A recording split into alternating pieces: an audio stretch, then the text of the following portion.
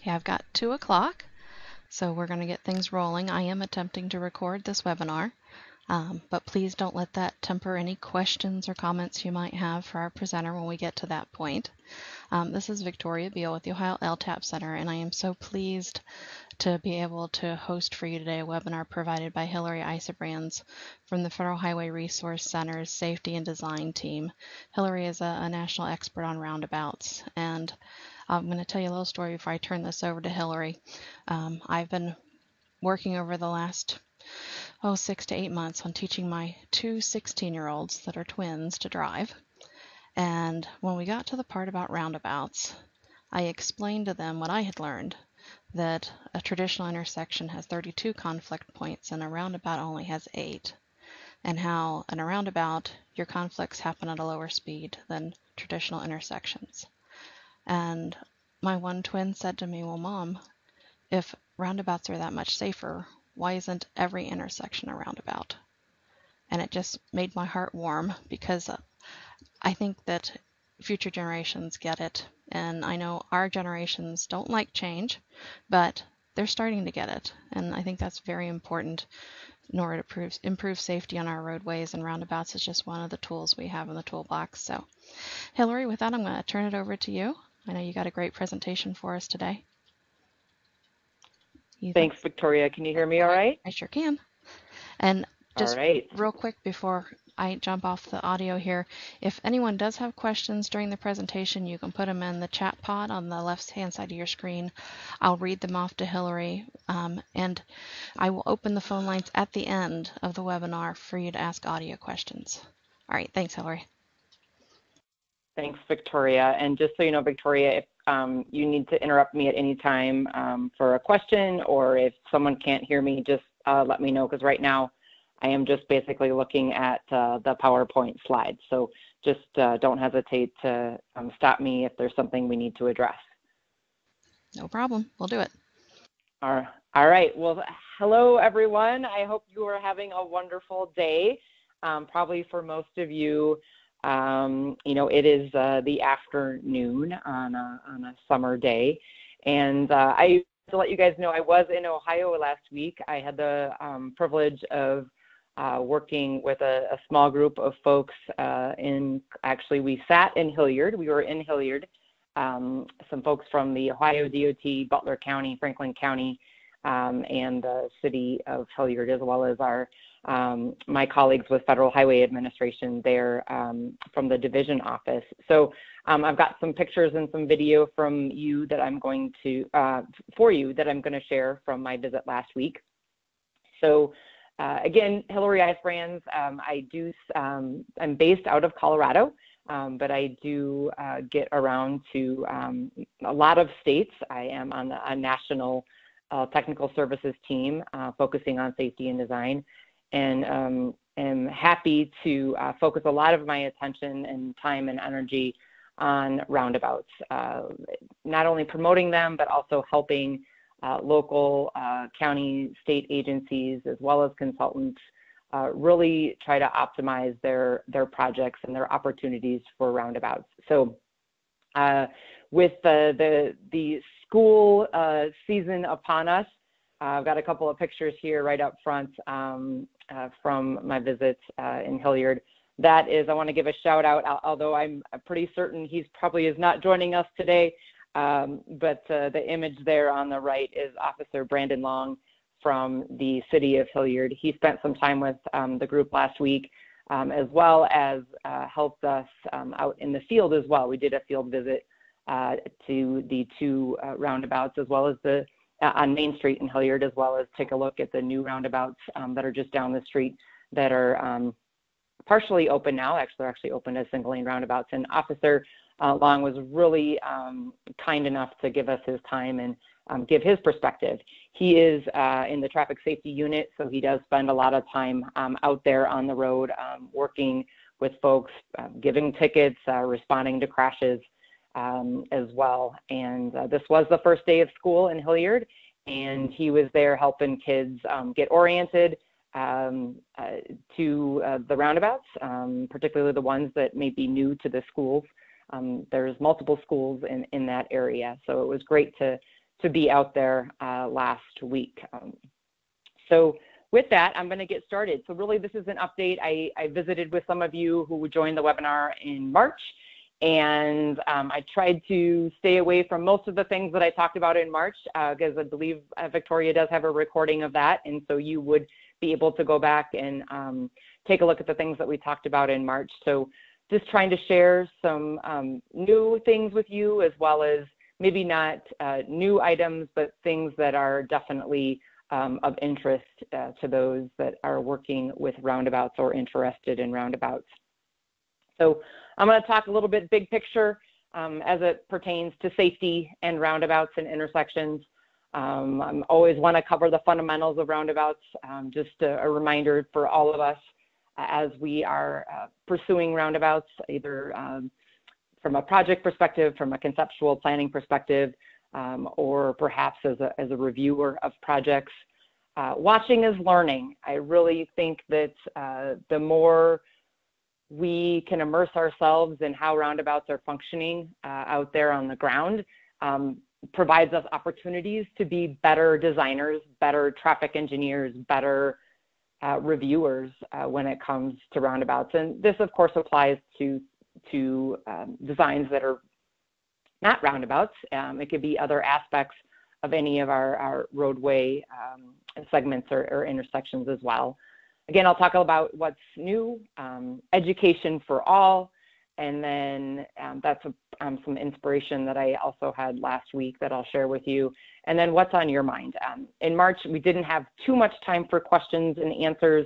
Uh, we paused a few times during uh, the webinar um, but I want to make sure that we've got ample time here today um, to cover some um, additional items that might be on your mind. Because if for those of you who might be attending um, the Roundabout Conference in September, which I'm going to touch on a little bit later, um, that would be a great opportunity uh, for us to, to talk about some of those things too in advance of that wonderful conference that'll be held in about a month. So uh, to get started, I just wanted to share with you, I don't know how many of you are familiar with the National Safety Council, but they released their uh, Road uh, to Zero effort and report uh, that early this summer, actually in the May time, April-May timeframe. And I wanted to uh, mention this because they've got three strategies uh, that they have, they are promoting through this Road to Zero effort on how we can get to zero as a nation. And one of those is doubling down on what works through proven evidence-based strategies. And I'm happy to say that the image there from the video, they actually do mention roundabouts in their very short video as well as in their report as a proven safety countermeasure and how that can help us get to zero. Um, so as you can imagine, this is a very large effort. It, it goes beyond engineering. It includes technology. It also includes our safety culture, education, um, but the fact that they gave a shout out to roundabouts, uh, not only in their report, but also in their very short video clip, um, I've got the link there on the bottom of the screen. I really encourage you to check that out. Um, it, it is a, a, touching video that they have put together, um, but do know that uh, we do have the ability uh, to be a part of that effort um, as we get to zero as a nation. Closer to home, I, I want to remind everyone, you know, Ohio does have the Strategic Highway Safety Plan, as do all state DOTs in, in the country. Uh, we also have uh, numerous actually local agencies that have uh, safety plans now and are, are, working on safety plans. But again, just a reminder that intersections uh, typically is one of those emphasis areas that we see consistently across the country, uh, whether it's a local agency or it's a state DOT in terms of addressing some of their highest crash um, locations on the roadway network. I'm sharing with you some of those goals um, as well as the strategies that Ohio has put together um, as an effort to how they're going to get there. So we know we have a problem when it comes to intersections. Well, how are we going to get there? And, and I will note here that it's not only engineering, it's also the education aspects that are, that are really important. So um, I'm going to actually read uh, a portion of some of these bullets here. So it's advancing the use of new technology and roadway designs that make intersections safer. So we know roundabouts fit right into that bullet. Um, implement proven and low-cost uh, systemic and, uh, and systematic safety improvements to reduce intersection crashes. And again, roundabouts, uh, we know that they are a proven safety strategy and they, they can be applied um, uh, at a systemic level uh, for, for some agencies. Educating roadway users on the types of crashes that occur at intersections and intersection types, uh, as well as um, the laws surrounding um, intersections and then conducting high visibility enforcement, media campaigns, and public outreach at selected locations with a significant number of intersection crashes. So these are all things that really um, roundabouts can be a solution uh, and address uh, intersection is issues. And, and, do remember that that is a part of the strategic plan for the state of Ohio, uh, and, and, as well as that can also be a part of, a, say, a local safety plan, whether that's at the county level, a township level, or at the city level.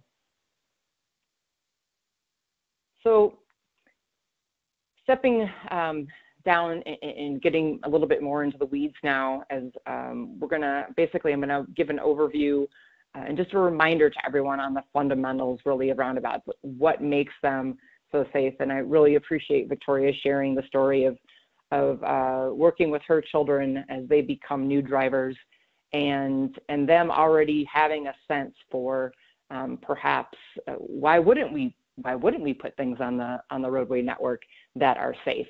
Um, I think that that's a that's a great uh, story to tell, um, and I appreciate. I've got my children are a little younger, um, but every once in a while, we will also be driving. And uh, my daughter said to me once, we were sitting at a, a traffic signal and you know i probably said something like gosh this is a long red light and she said to me well mom why isn't it a roundabout why can't you put a roundabout here and i said good question so sometimes it's just those fundamentals and it takes um, just like a lot of things in, our lives uh, whether it's seatbelts or car seats or bike helmets or whatever it happens to be it takes a generation so um, we shouldn't forget that we should we can educate um, all uh, everyone in our community no matter how young or how old they are. So back to the fundamentals, um, just want to share with you, we know that well-designed roundabouts save lives. And that should be something that we always keep in the back of our mind as we're making decisions and we're helping others make decisions about whether or not the roundabout might be the preferred alternative.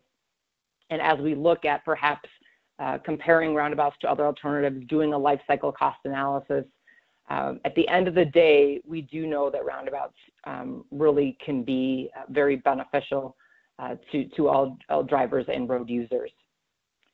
So speed control and speed consistency are very critical. Um, we, we do want to try to get um, our design so we're have drivers going between 15 and 25 miles per hour.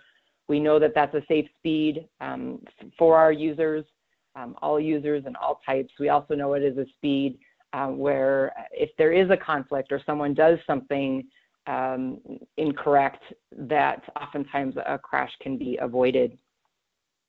We know that single lane roundabouts only have eight vehicle vehicle conflict points. Again, that reduction in conflict points is paramount to that safety that we are able to achieve with roundabouts. Right sizing the roundabout to fit the context and the users will avoid over design. So it's really thinking about right sizing uh, we are oftentimes limited. We are often in very constrained environments. And even if we're not, we should really challenge ourselves to come up with a design that keeps those slow speeds for all users and really is in within the context of, of where that intersection is going to be. We know that phasing, design, and construction can also reduce the risk sometimes with traffic projections. So we're not always that accurate when we're looking 10, 15, 20 years out when it comes to those traffic projections. Yet we make very critical decisions when it comes to ultimately the number of lanes that we're choosing, uh, the perhaps the alignment and some of the other geometrics that might play into a particular project. So we really have an opportunity as a profession to to look at that a little bit more closely. And if we're more confident at the 10, 15 or 10 or 15 year horizon when it comes to the traffic volumes, perhaps we should focus on that and look at a more phased approach. We've got numerous states now that are actually putting that into their design guidelines where they're looking at that more phased approach and that right sizing in terms of trying to, to make sure that they have the most cost effective, safe, and efficient project. So these are kind of the top five. If you remember, if you joined us back in March when uh, I gave the presentation, um, I, I, gave a kind of a, the elite eight for roundabouts. And some of these are, are repeats from that, have been refined slightly. Um, but these are just some of the really the fundamentals and basics that we need um, to make sure that we keep um, in the forefront as we look at our projects.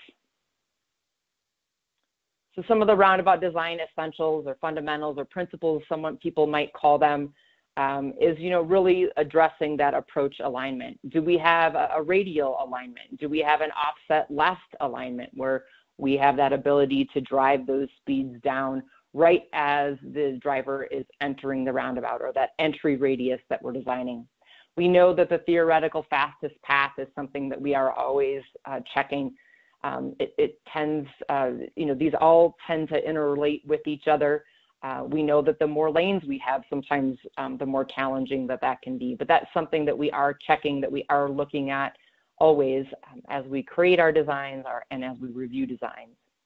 Of course, the natural path is assuming that a driver is staying in their lane and they're obeying all the, the laws and the rules of the road.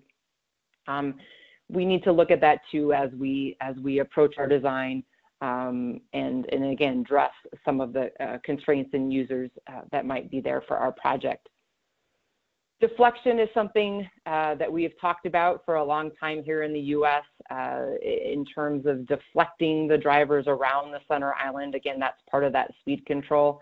Um, it is interesting to note that uh, some of the, uh, I guess, a, a, newer approach or a new type of roundabout design or the turbo design um, does challenge us a little bit in that area.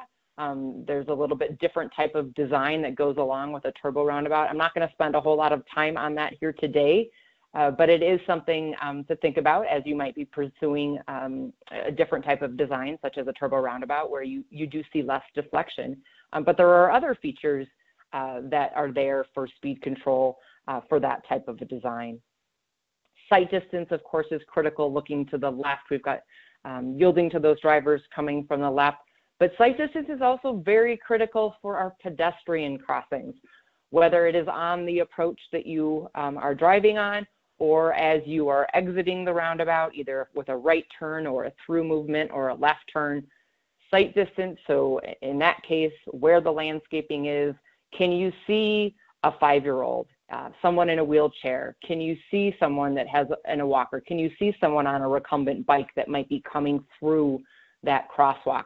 Those are all components of sight distance that we should be considering and thinking about, as well as making sure that those are sufficient with our designs, not only right at construction year. But again, when we talk about landscaping and uh, trees and, and, and, grass and bushes, um, those grow over time. And if there's not a good maintenance plan, um, there can be issues with that. So again, I know many of you probably on the call today are very familiar with roundabout designs, but it doesn't hurt to, um, to always be thinking about these sorts of things um, as we as we are working on our projects view angles, so the, the and entry angles, so the relationship between how the driver is interacting with the other approaches. And um, again, sometimes if you've got a skewed intersection, it can be extremely challenging uh, in terms of uh, that that geometry and that relationship between one leg and another, what the driver is seeing, what the driver is feeling, and how we're communicating to the driver um, how to to, again, take a gap perhaps or to navigate through that intersection. And on those skewed intersections with those, uh, maybe an obtuse angle, sometimes if we're not careful, uh, we might give the driver the impression it's more of a merge condition versus a yield condition um, as they're entering into the roundabout. So again, these fundamentals are, are critical. Um, no matter if we're in an urban environment or rural environment, um, whether we've got low volumes or high volumes. Uh, these are really the, the um, essential components that we should be looking at, um, no matter um, who you are as, as a designer. variables that affect footprint, I think this is also another piece that we've got opportunities going back to right sizing the correct context depending on where you are, um, who your users are, whether they're on foot um, or they're um, on an, driving an oversized, overweight vehicle. So we know that the vehicle is, is component, the design vehicle is, is, is critical. Uh, we know that there's other controlling uh, vehicles. It could be farming equipment. It could be that oversized vehicle. It, it might be the ladder truck in your community, or perhaps a school bus or a city bus. Even though they're not the design vehicle, oftentimes these other controlling vehicles can really actually shape your design. and we really should be paying attention to that as we are uh, working towards uh, the ultimate uh, final design. Of course, the number of lanes can affect that footprint and that size, and that's where that critical um, analysis and the critical review of the traffic volumes becomes so important.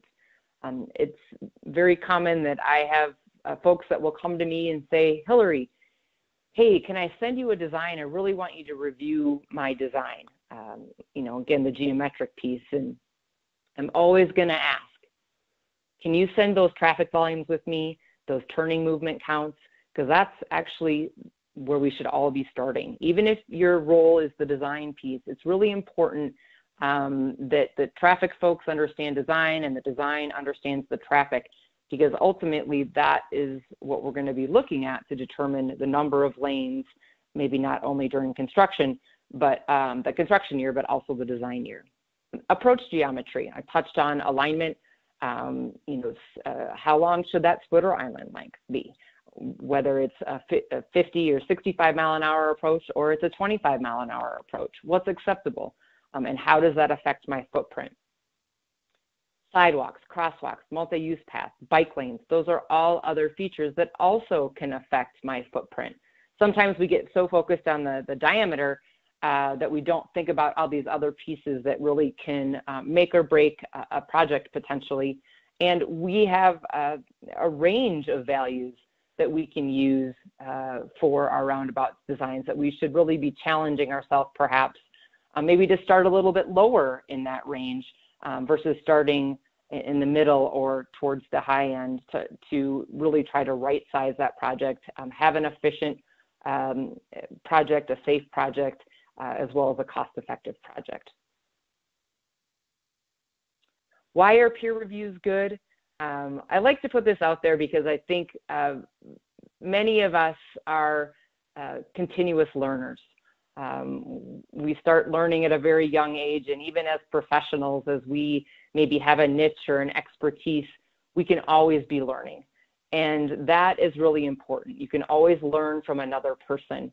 Um, and again, that person might be new to the to the profession, or they might be um, someone who's been in the profession for very long.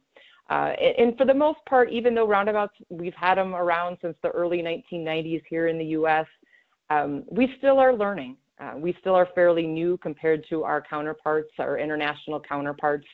And so it's important to soak all of that information in um, from those who are working on projects. You know, some of the new engineers and, and practitioners and planners that come out of college, they still may not have been exposed to roundabouts in their design curriculum or in their traffic engineering classes or their safety classes. So it's it, it's not necessarily assumed that they're going to walk out of uh, out of college uh, with the knowledge of roundabout design or roundabout traffic analysis. Not every agency has a roundabout expert on staff, and that's okay. Um, that is okay, and, and it ultimately it does. I believe in the team effort, the team approach to ultimately getting to a good design. Um, I think good things can happen when we work together um, as at all levels of government as well as with uh, the consultants that are helping us really ultimately get to that um, project. Again, you can learn a lot from a peer review and it can make you a better peer reviewer or designer in, in the future um, by, by listening to others um, and because every project is, is a little bit different. A review process, um, a review in the process can reduce risks and time. Oftentimes I say, you know, gosh, you're coming to me at, at PS&E and you're asking for the first time for this project to be reviewed, and it's a it's a two and three lane roundabout. Wow, we probably should have somewhere um, at 30% design or even conceptual design maybe had this conversation that we're having now as it's going out the door. So making sure you've got those those um, critical points along your design project development process where you are bringing reviewers in. Um, because like I said, catching something at 30% design um, with a roundabout can save you a lot of time and energy um, versus finding it um, at 90% say. Reviews can really result in a better project. Um, and whether that's a, a colleague that's reviewing it, um, you know, so if you're at the DOT, it, it's someone that might be in a different district perhaps that has some roundabout experience. Um, perhaps it is an on-call uh, contractor or consultant that can help you. Uh, perhaps it is uh, just reaching out to someone else that you know uh, about a roundabout project. You know, I've I've got a lot of people that I reach out to um, when I've got a question or I want someone to confirm or deny, perhaps um, maybe what I'm seeing with a particular project. So peer reviews can be good, not just for roundabouts, for everything that we do, um, particularly the more challenging the project. Okay, so I think I'm going to uh, maybe I'm to go through the next um, few slides here, and then um, we'll take some time to um, look at some questions. So watching and learning, and I really do believe this. Um, it's it's just because you've driven through a roundabout doesn't mean maybe you've kind of taken a look at some of the nuances. And if you are a roundabout designer and you are just sitting in your office designing a roundabout and you haven't had that ability to be out um, and, and live it, breathe it, feel it, drive it, walk it, bike it. Um, it really brings a different perspective, and I think a very valuable perspective um, to us as practitioners. So at hot off the press, everyone, if you were checking your email and you're on the roundabouts list serve, Letty Schamp uh, from the city of uh, Hilliard actually just posted a couple of uh, videos uh, for uh, roundabouts in schools. Uh, so this is, of course, the schools just started last week there in Hilliard. Um, this is one of the Main Street roundabouts. This is, I believe, the Cemetery Main Street roundabout that uh, they have. You can see the school bus. There's actually three more schools, three schools right there in this area. so she is, again, um, sharing the wealth. Um, please observe, please watch this. I had some great conversations with Letty out there. They've got, notice they have the offset crosswalks uh, where the uh, crosswalks are at a different location on the exit versus the entrance. It is really interesting to, to watch as people walk as well as ride their bikes through these crosswalks. And you can see kind of the different dynamics um, that, that occur. So Letty, thank you so much for sharing these videos. I'm not going to show these, but um, again, if you're on the Roundabouts listserv, this was posted um, just a couple of hours ago. I do have a video I am going to share with you. This is actually the North Hamilton Road in Gahanna, um, so just north of the airport there in, in the Columbus area. Uh, this is a three-legged roundabout. It actually does have a driveway as a fourth leg to the home on the hill there. Um, this is uh, two lanes on the on Hamilton Road. The side road is a single lane that flares uh, to two lanes on the approaches. This roundabout does have rectangular rapid flash beacons at it. Um, there are two crossings on, on, two of the approaches, the one we're looking at here, which is the side road, and then North Hamilton Drive. Uh, there is a bicyclist actually in the roundabout there in this video uh, but they are actually on the sidewalk. So I'm going to jump out of PowerPoint here, folks, and hopefully play a video. So Victoria, you'll just have to let me know if uh, if yep. it does not work. We'll definitely let you know. And while you're pulling that up, I have a question for you that came in the chat pod. It says, how important is it to collect traffic data at the roundabout after it's been installed? Can designers modify the installed design if necessary, similar to traditional signal timing using turning movement counts. All right, so collecting traffic data after the roundabout is in. I would say that's always a good idea uh, to do that. Now, in terms of how you might modify the roundabout uh, once you have that traffic data, Um, might be a little bit more challenging because uh, uh, unlike a signalized intersection where you've got the signal timing you can adjust, with the roundabout, it really is based on the geometry. So if we've missed the mark with um, either the lane use or the number of lanes, that might be a little bit more challenging uh, than, um, than a signalized intersection. But I do encourage folks to collect that data. In fact, uh, right now, I, I, know that there's a couple of efforts um, in Ohio to actually get some drone footage um, where we can do some actual traffic counts and get on various roundabouts in the state of Ohio. I know uh, the city of Hilliard, if you've been to those roundabouts uh, there on Main Street, uh, very, very high volume. I think, I believe if I've got the number right, and Letty can correct me or if someone from Hilliard is on the, on the webinar, about 35,000 ADT. So those, those uh, hybrid roundabouts are handling a lot of traffic. Uh, and you can see it in, there actually is the queuing um, but they knew that up front, so the expectations were, were kind of set there. But I think that uh, collecting the data afterwards is is an important piece. I think also um, being aware of not just the traffic uh, in terms of the cars or the trucks, but also the, the use, the pedestrian and bicycle use.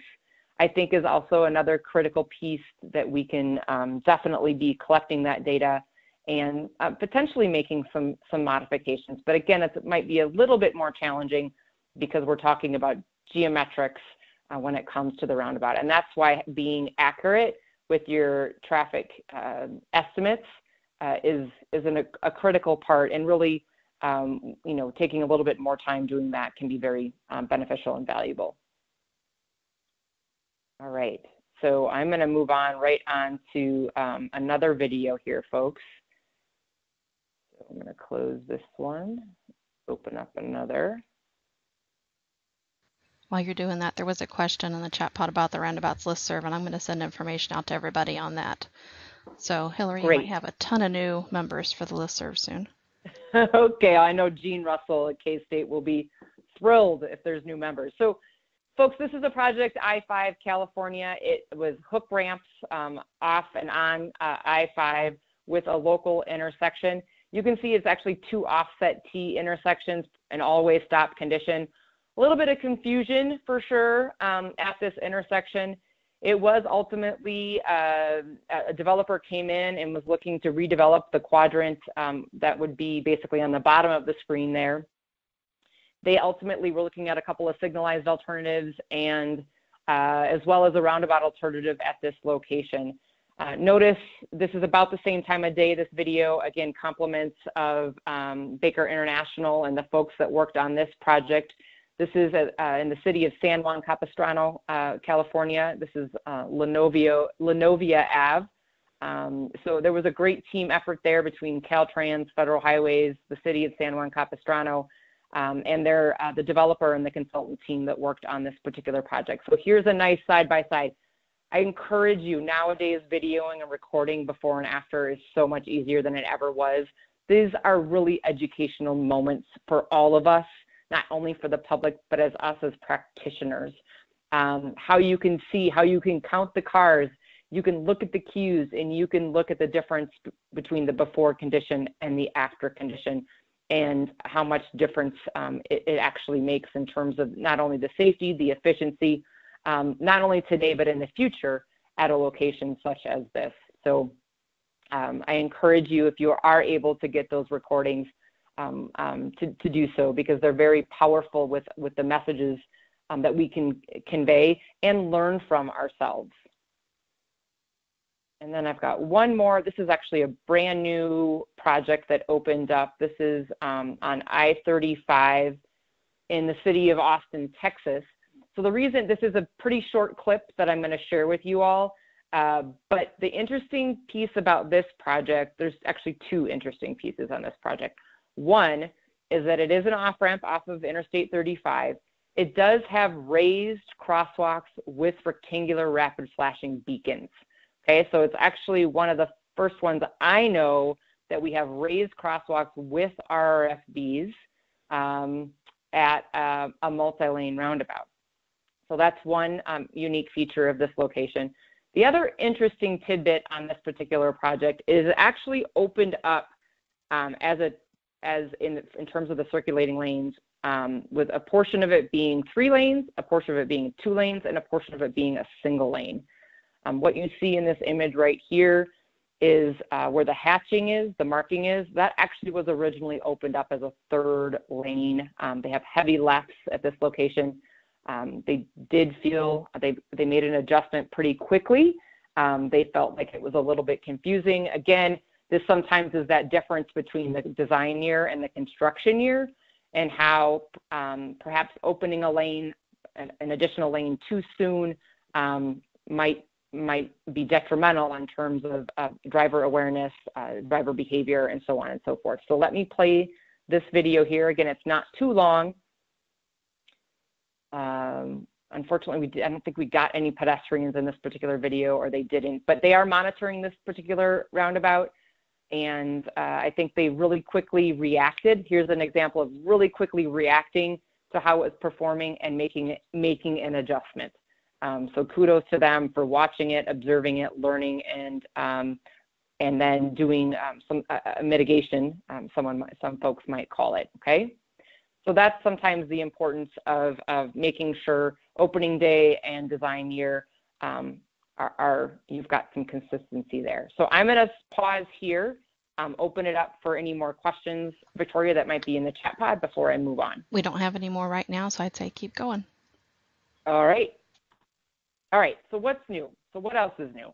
Um, so some ongoing and new roundabout projects. I just wanted to let you all know that Federal Highways Pooled Fund Study uh, the particular project uh, driver is failing to yield at multi-lane roundabout exits. Um, that project is officially should be getting underway fairly shortly. The link there will show you the, the states that are a part of that pooled fund study. I may not have this all right, but I believe it's Connecticut, Georgia, Wisconsin, and I'm missing at least one other state, so I apologize to the fourth state. And, and then Federal Highways has also contributed some funds to this particular project. So um, Wei Zhang from our, our research group uh, within Federal Highway Administration is going to be leading that effort. But again, um, it hopefully will be kicking off fairly shortly. Another update is officially the NCHRP uh, project, which will be the, the, the development of um, the roundabout guide, an update to that guide, um, is officially underway. Uh, the, you can also go to that website. Uh, the, the, contracting team that will be working on that project is going to be led by Kittelson and Associates.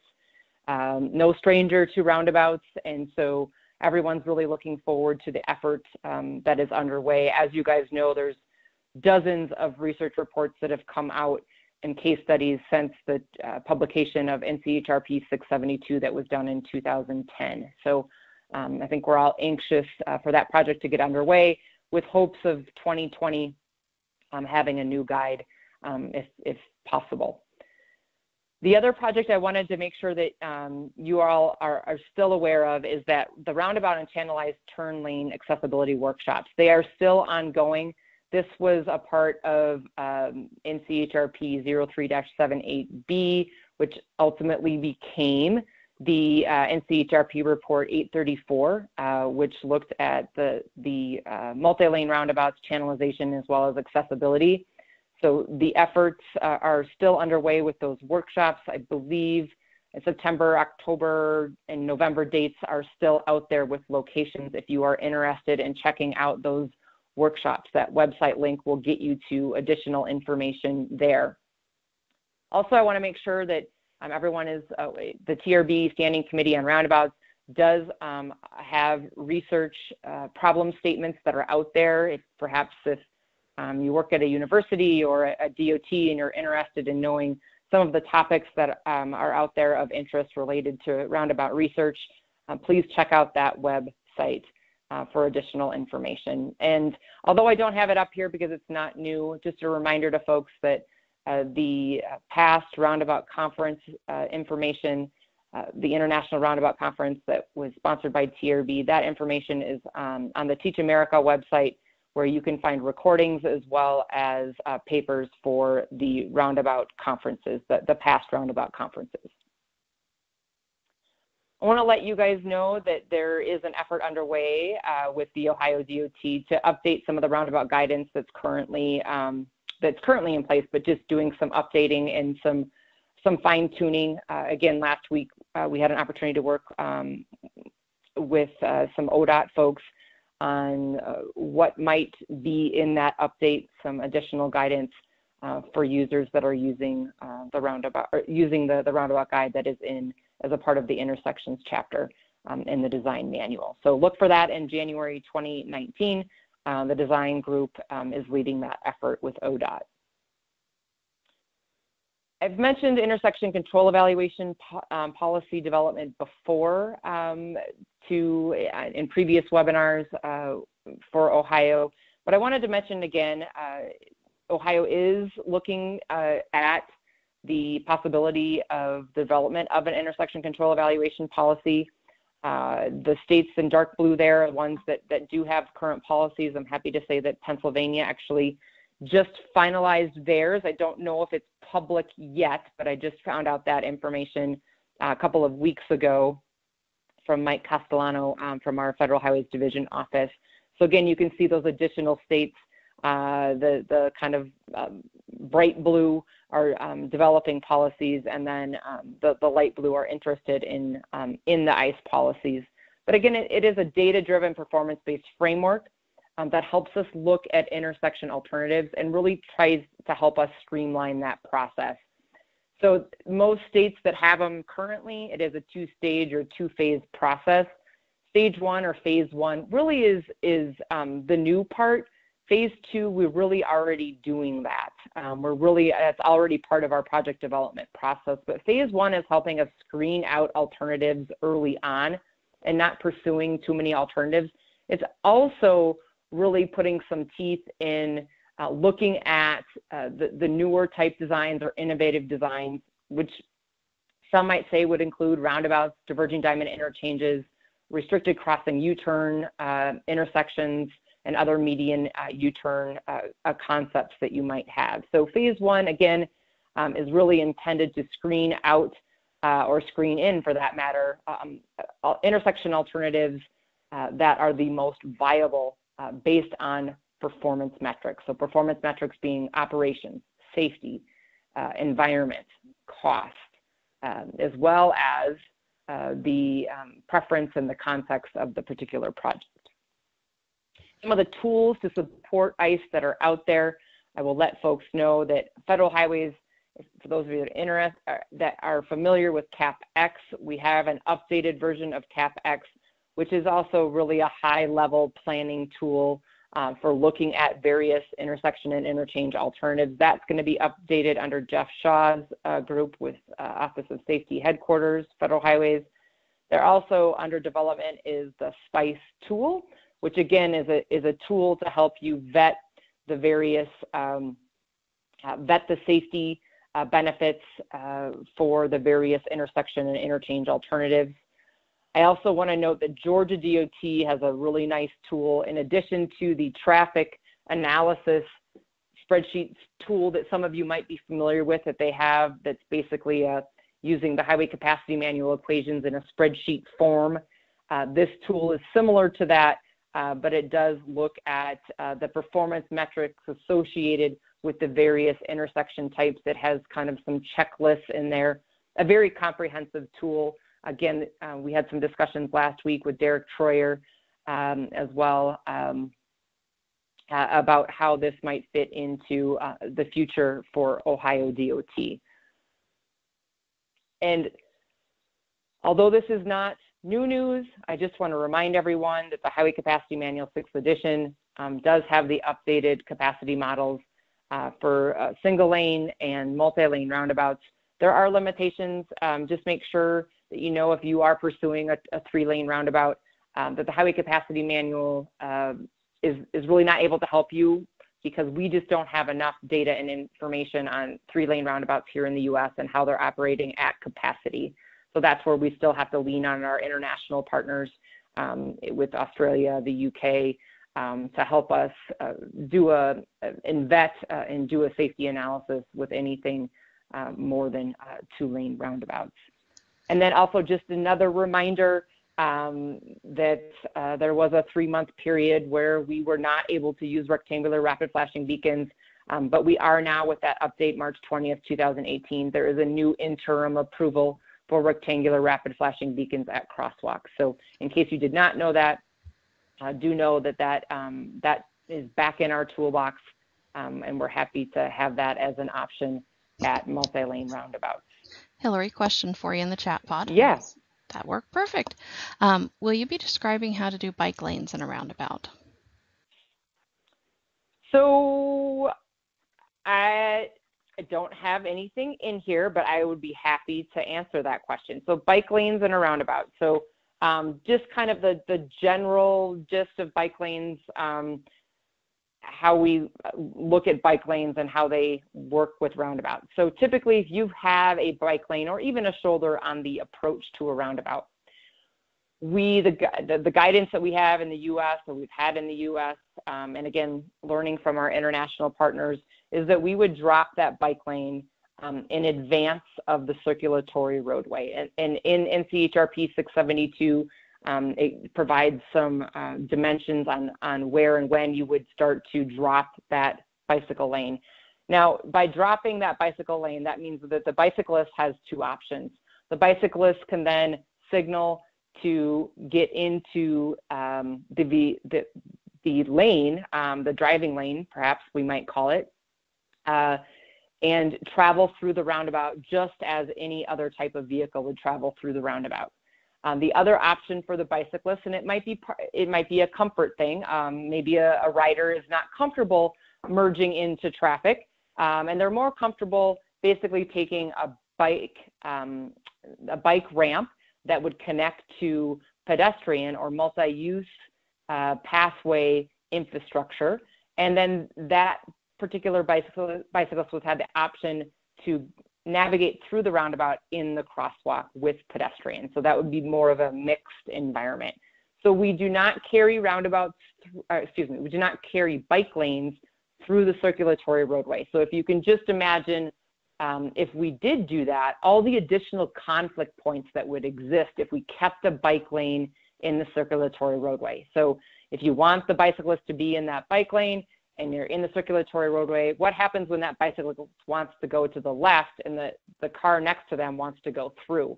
So we've created additional conflict points with that bike lane. That's why the bicyclist either has that option to uh, move in with uh, the vehicular, the other vehicular traffic and, and travel through, yield on entry. They're going to follow the same rules of the road as anyone else is.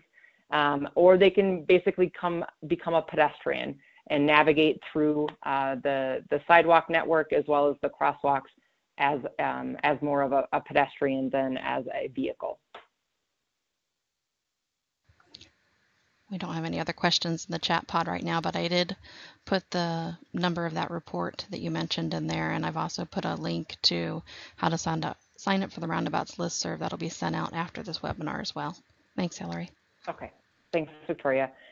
And just another note on the um, bicycles and roundabouts, and this is actually a good picture, the picture on the, uh, the right there with the student walking in the crosswalk, where you've got an offset, um, the offset crosswalk there, is it was interesting to watch this location because the kids that did choose to ride their bikes, um, that was a pretty sharp turn in a short area uh, where I would always encourage and help educate um, anyone, not just a student, but anyone riding a bike, dismount the bike and walk the bike across. Um, whether that is the jog in there or it's straight across, the jog helps prevent um, a bicyclist from just jutting out and going straight across. Um, but I also think that the absolutely is the safest way to get through not only this this location, which happens to be a roundabout, but other crosswalk locations um, is to dismount and walk that bike across. I know where my children go to school, um, it, it's the rule of the school that kids cannot skate, scooter, or ride their bikes in a crosswalk. They must pick up, um, pick all those up, or walk your bike across the street because they feel like that's the safest way um, for those students to be navigating in the crosswalks near the school. So um, just an added note there on bicyclists and roundabouts. So let's talk about education for everyone. Um, we still are in, a, a, I guess, a, a mode of um, educating engineers, educating planners, educating professionals about roundabouts. Uh, we're educating decision makers and elected officials about roundabouts. We're also educating the public. And um, depending on who you talk to, um, in, in, a sense, we may have missed the step. Um, and it's not just roundabouts, it might be, um, you know, pedestrian hybrid beacons or diverging diamond interchanges. How much do drivers really understand um, some of the rules of the road, so to speak, when it comes to these more um, non-traditional or innovative um, type intersections that, that people have not been driving for, for decades. Uh, so we need to think of ways uh, to, to, educate uh, everyone and be educating all the time, not just when there's a project on the table.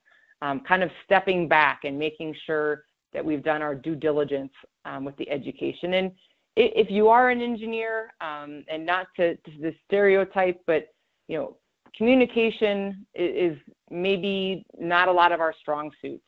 Um, it, it, just it's it's something that um, you know we didn't have a whole lot of communication classes in college. At least I didn't. Uh, so that that maybe comes um, comes second to maybe that technical uh, ability that that we might have.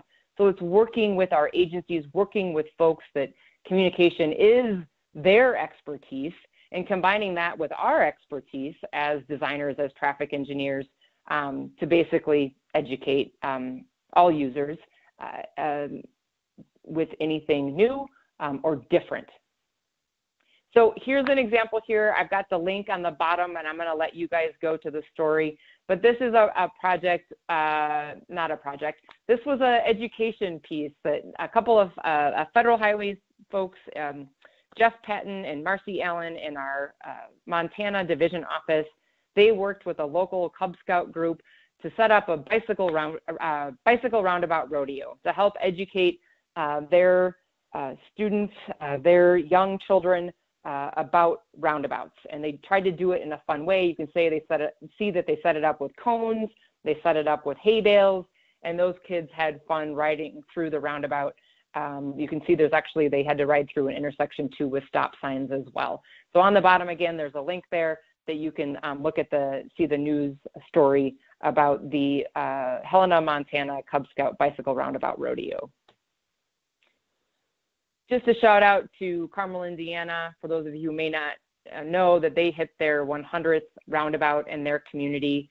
Um, they've also put out some nice publications, uh, so, and again, some information um, to the traveling public that I think is really helpful uh, to communicate that message and continue to communicate. So here, Carmel, Indiana has 100 roundabouts, and they're still finding different ways to educate and communicate with their traveling public. Um, you can see there one of their statistics there is Carmel drivers save 272 tanker trucks of fuel per you per year, sorry, due to roundabouts. So they've got some fun facts, they've got some driving tips, cost benefits, environmental benefits. So even a city that has 100 roundabouts, they're still out there making sure that people understand how to drive them and what the benefits are of roundabouts. And then Hilliard, Ohio, I'm going to give uh, Letty and her uh, her folks also a shout out for her tackling those roundabout rules. So she's got a great T-shirt on there.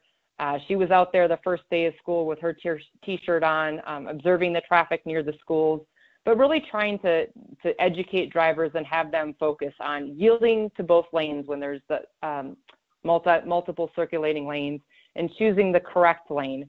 Um, so there's folks that aren't uh, aren't uh, cutting people off um, in the roundabout or as they're exiting the roundabout. So um, she's got a new YouTube, or the City of Hilliard has a new video that's on their website. I encourage you to check that, that out as well.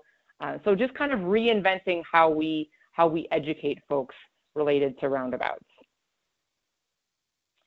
And of course, a big, great opportunity um, coming off last year's 2017 Ohio Roundabout Conference, where I think there was over 200 people. I encourage you all to, to check out that website. Uh, it's going to be in Gahanna uh, this year. It was in Hilliard last year. And uh, again, I'm sure I've, from what I've heard, there's some great uh, topics that are on the agenda for this year. I'm looking forward to it myself, and it just being about a, a month away. And if Victoria can hopefully share a little bit more uh, with us if there's any updates on that particular um, effort. So at that, this is all I have prepared in terms of slides, but I'd be happy to um, get your feedback or your comments or questions that you have in the last uh, about five or six minutes that we've got together. At this point in time, I'm going to go ahead and unmute all the phone lines so people can ask audio questions. So if you have a party going on in the background, now would be the time to make sure that they tone it down. I'm just going to start at the top and start unmuting everybody. Um, I'll let you know as soon as everyone's unmuted. And I did put a link to the registration for our Roundabouts conference in the um, chat pod if anyone hasn't registered yet. You can still register. Currently, we have 205 registrants, but we have enough space for 400. We were shooting high this year, so um, we're more than happy to host you for the day. And there is a fantastic lineup, um, including a great number of Ohio-based projects that, um, who knows, might be a, a, future site for a roundabouts conference. We had tons of people on the webinar today, so I'm almost there. Here we go. I found a button to do it all at once, or hold on. Yeah, I've unmuted everybody, but I still have to unmute you individually, sorry.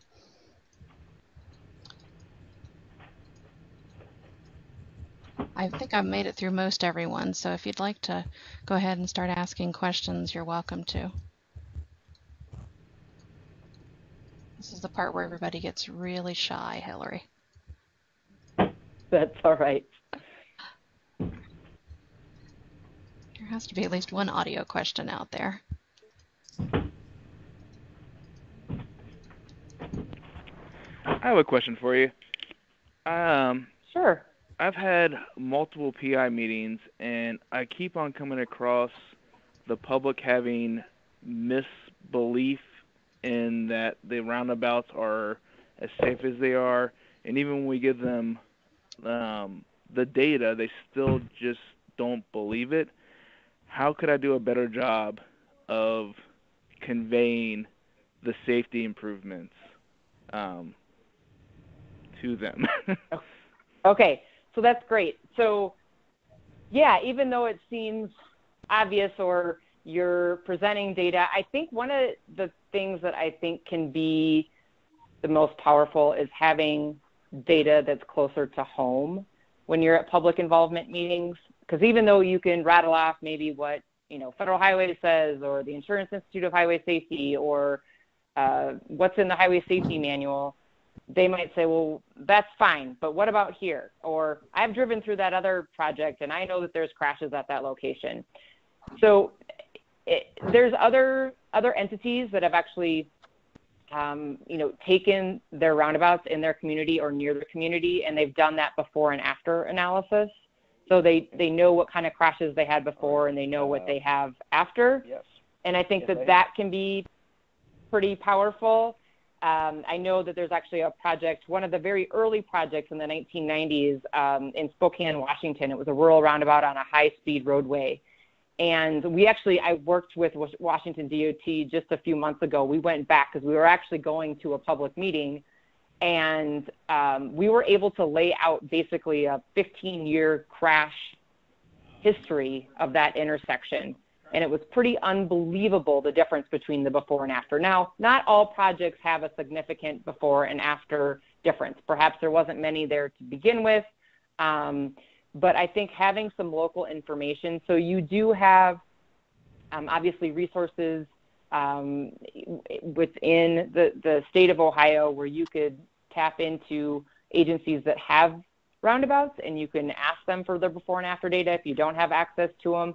The other uh, great little article that was just written um, from Connecticut DOT, actually the Connecticut Local Technical Assistance Program, so Victoria's counterpart in the state of Connecticut, um, they put out a great how many lives and crashes have been saved since they put in their roundabouts. So they, again, it was a before and after.